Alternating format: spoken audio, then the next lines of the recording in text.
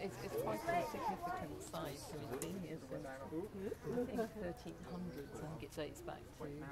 And because you get a lot of um, yeah, um, the famous King Asok of India was meant to have come down to these parts. And, Yes, uh, brilliant. so there's lots lots of long-term historical connection.